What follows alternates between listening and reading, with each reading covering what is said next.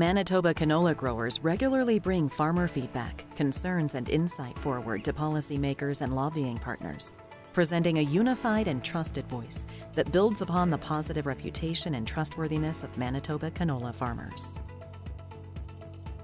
Within Manitoba and across Western Canada, drought hit farmers hard last season, resulting in numerous government consultations to ensure farmers' voices were represented in discussions around business risk management and contract shortages.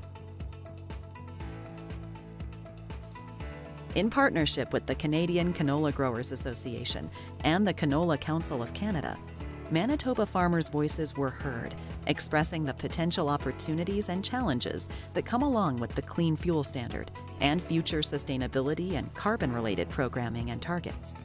On top of advocating with current government officials, Manitoba canola growers are also focused on connecting with youth and consumers to create a deeper understanding of agriculture and canola. This engagement contributes to positive conversations, increased agriculture literacy, and positive support for agriculture outside of the agriculture community.